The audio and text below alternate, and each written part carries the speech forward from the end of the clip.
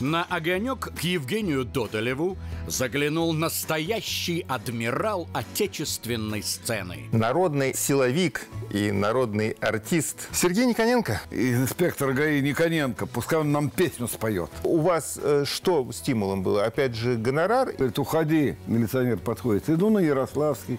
Там часок поспал, опять уходи. Иду на Ленинградский. Не обязательно было там сниматься. Вот сейчас я понимаю. Ну, по интернету, в социальных сетях при этом вас нету. Ой, все девчонки. Золотая рыбка. Сергей Никоненко. Доходчиво, ясно и понятно. Смотрите в пятницу в 17.25 на телеканале «Москва. Доверие».